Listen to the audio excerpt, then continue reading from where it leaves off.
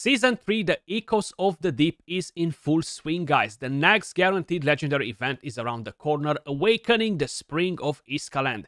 And she's a pretty awesome legendary hero. Now, of course, we have chief challenges. In today's video, I'm gonna showcase you a team that will deal with the fire boss.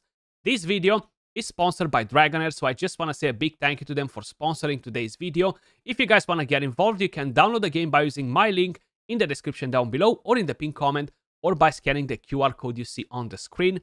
Plus, like this, you get to help and support the channel. But without further ado, guys, let's head over directly to the Chief Challenge. This boss is actually pretty interesting. We're not gonna be able to dodge his attacks by positioning our characters in a specific way. So his skills, guys, he has this passive. If he has uh, one or more buffs, he has a 20% damage reduction. Of course, immune to control effects, he's stacking damage over time. And the very first skill the monster gains a random buff for 10 seconds and deals necrotic damage to the target. The random buff is selected from the following, so he can have increased attack, defense up, uh, damage uh, reduction, 30% uh, damage up, which can be pretty, pretty nasty, especially uh, if you're uh, hanging in the fight till the end, you know. Then the second skill is the same. The ultimate, how I mentioned, deals necrotic damage to all enemies. When the monster has one or more buffs, the damage dealt by this skill ignores the target shield, immortality, and invincibility. Now, we have quite a few awesome heroes that put shield in the fire element. We have Adolphus, we have uh, Elminster. So we want to make sure that shield stays on and we're actually reducing the, the damage. We need quite a bit of accuracy. The team that we are running today, guys, the main goal is to, of course, hit over 22 million damage. The more, the merrier. We have um, Elminster, we have uh, uh, Dain. He needs to remove the buffs, right? Then we have, of course, Tonnelan, we have Erich, and we have Quarian, the rare hero, which will uh, provide uh, most of the healing. I'm actually a big fan of, uh, of Quarian. So the positioning will be the following. Uh, we're going to have Tonnelan running all the way to the boss. Elminster is going to be face to face with the boss and soak in some of the damage. He is the one of the tankiest uh, uh, heroes in here. Plus, we need to have the rest of the heroes around him to make sure uh, they're all gonna gain the shield, the healing. There's no reason to put them at the back line because you know what? They're still going to, to get hit. Now, I don't have a better aura, unfortunately, only the Enlightenment one. You can use different uh, different legendary heroes if you have to deal the damage or uh, even some different epics. The damage dealers are kind of like set in stone. Now, if you are replacing Dane to bring in, for example, Liko, she's amazing versus this fight because of this uh, skill that puts buff prohibition and removes buffs. You're not gonna have enough damage, and you cannot remove the healer. You kind of want to keep Elminster for decreased attack and shield. So I feel like this uh, is one of the best format when we are talking a uh, budget in a in a way or another. These are the builds that I have on them, but I'm gonna show you stats and everything in a in a second. I have two legendary uh, artifacts, the Revatrix Roots, and we have, of course, the Witch's Remains for defense down. I haven't put uh, the defense down artifact on Erich just to make sure we're gonna have enough uh, enough damage, you know. And on Dane, we want to have uh, the Incense Burner, or um, if you have, of course, the Rift Hourglass, just to ensure that he's going fast enough to remove the buffs from uh, from the boss, you know. Now, in terms of skill timing, guys, that's what we have uh, on them. Elminster at 11 seconds. He will be on a 18.1 seconds uh, cycle. I wish I was getting more skill haste on him to get him down to 18 seconds so he can always use the ultimate at the, at the same time. Um, of course, my damage dealers will be on 20, on 19.7, so at some point they will definitely desync from uh, the defense down. Those two seconds, almost two seconds difference will uh, definitely make uh, a, a pretty big uh, gap. Then uh, you want to have Dain at 18 second cycle and using the ultimate at 16.5. He's on a 20 second cycle, but he has the incense burner, which will give him exactly enough ultimate energy to ensure that he will be on an 18 second cycle, which is pretty good.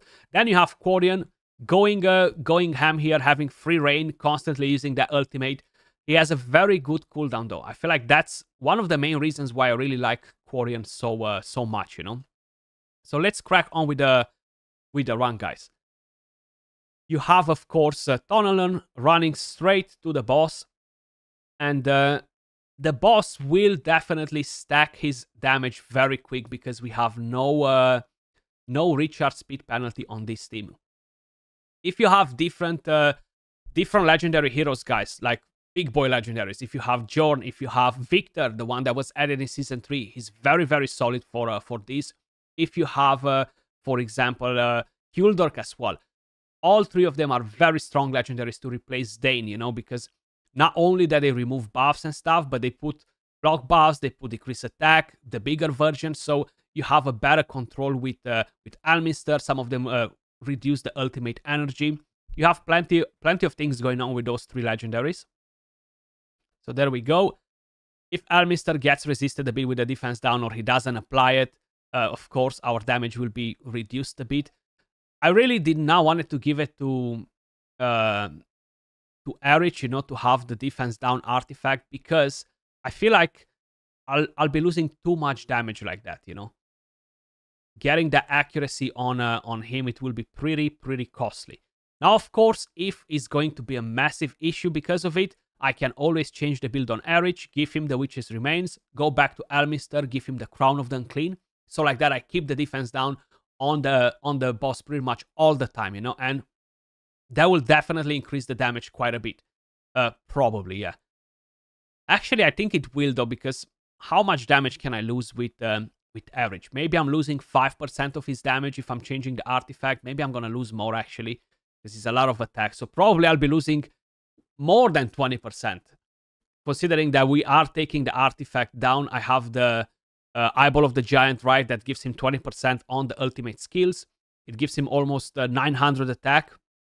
So it will be quite a bit of a difference. I'm not sure if that defense down uh, will make up for uh, for the difference. Probably, probably it will. So slowly they will be uh, uh, ranking up the damage even more. You know, so um, it's gonna be fine. Tonnelan, she still uh, didn't uh, fully proc the passive. Same with Erich once the attacks are uh, all wild and we're gonna get um, the extra crit damage on uh, the damage will uh, slowly go up more and more, you know. But I think we are on the path to approximately 25 million damage, more, uh, more or less. And it's not bad, you know. You want to get 22 million. Uh, if you want to compete uh, in here, guys, you need Flora, you need um, tons of crazy legendaries. If no, honestly, you're just not going to to be able to get some crazy crazy numbers and yeah for that you need 50 60 70 100 million damage on this and flora can definitely definitely do it without a problem you know that shield is is is go is massive from uh, from Elminster. A lot of people, a lot of people said Elminster is just an, another average trashy trashy legendary. That's what they said in uh in season uh, two when he was introduced. You know, but he turns up to to be quite uh, quite essential for some of these teams because of that decrease attack and the shield uh, being placed by the same champion. You know, I feel like he's uh, is definitely very very good. Now the only thing is timing the defense down a bit better here is definitely going to to give us the edge. For whatever reason, Tonnelan, she's using that ultimate skill so uh, so often compared to the rest, and I'm not even sure why though. actually, most probably, it's just that she had 19.7 seconds, right, on uh, on the ultimate skill cycle. So that might be the difference. So we are at 16.4 million damage. We have 1 minute and 30 seconds left.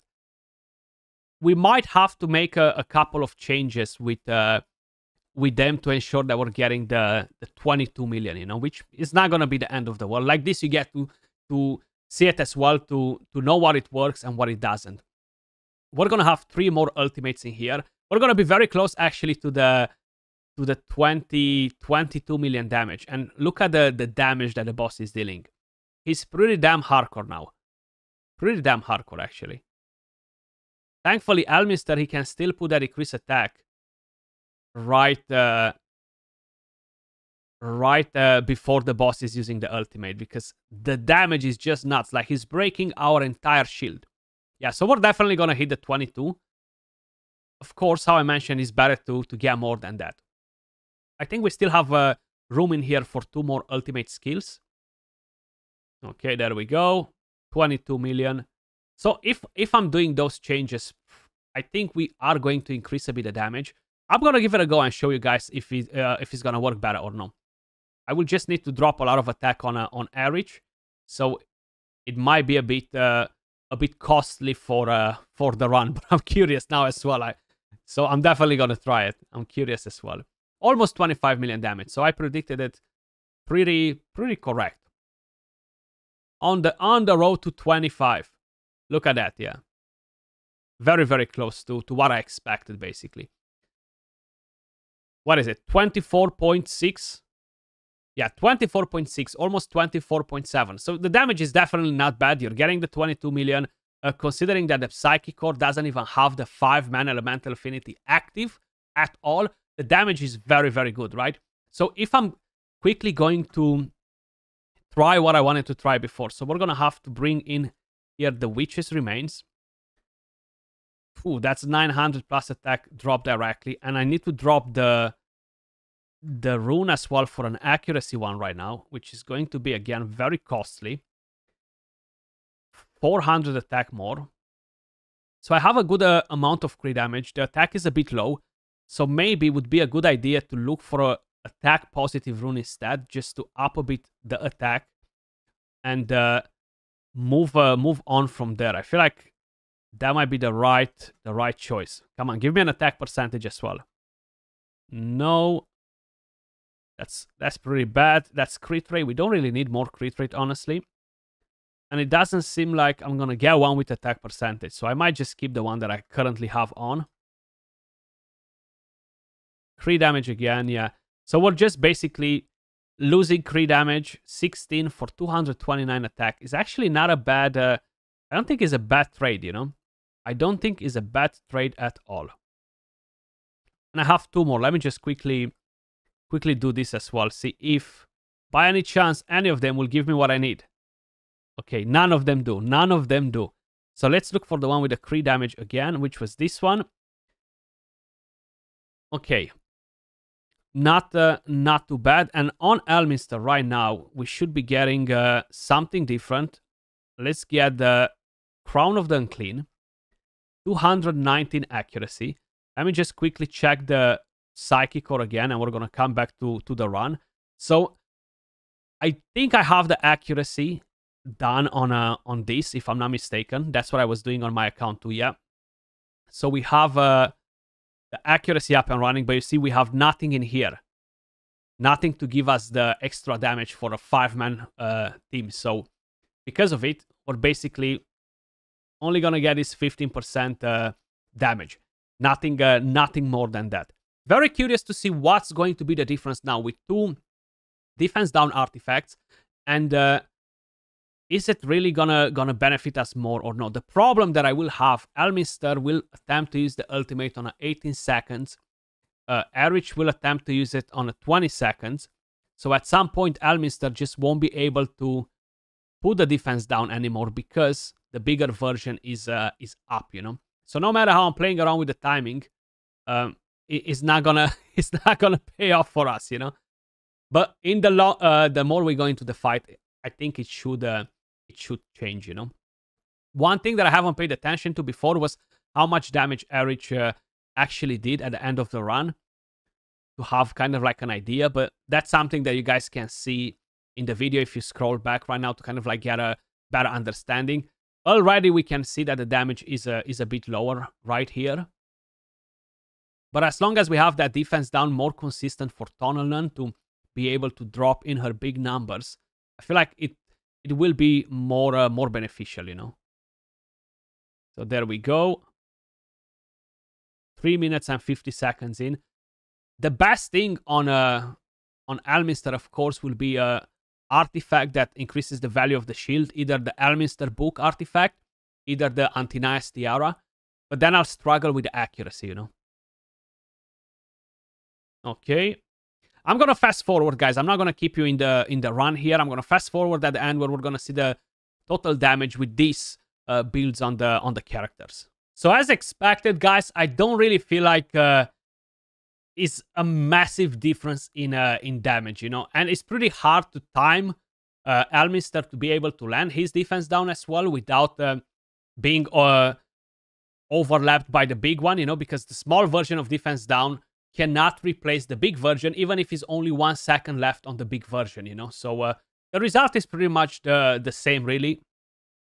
I I thought that it might be a bit uh, less than in the previous run, but seems like we are actually doing a little bit more. Now, of course, that can uh, that can vary as well a little bit if somebody doesn't crit, if they don't have full crit rate on and stuff. But seems like we gained uh, we gained almost one million. We gained like seven, eight hundred k damage. So let's uh, let's take it as a as a win, guys. Let's take it as a win. So what do we have in here? Let's see. We have uh, 7.2 million damage from uh, from Erich. Let me just quickly show you the builds that I have on the on the characters. You've seen my Psychic Core already. I have nothing crazy going on in there. So go to team and go to team 6. So this is uh, Erich. 3.8k attack, 98 crit rate, 200 crit damage, 234 accuracy, and we have 50k HP. Elminster, he is built on double uh, skill haste set, just to kind of like try to push him to the 18 seconds cooldown. 62k HP, 2.7k defense, 320 enlightenment, 219 accuracy. The enlightenment is very, very important just to generate a bigger shield. Dane, he is of course on a aerial battle roar set, and we have 50k HP, 1.5k defense, 3.k, uh, 3.7k attack, 87 crit, 131 crit damage, 253 accuracy, 0 skill haste. So you can see incense burner 10% exactly uh, 2 seconds out of the cycle. Tunnel the same set with the Revatrix roots.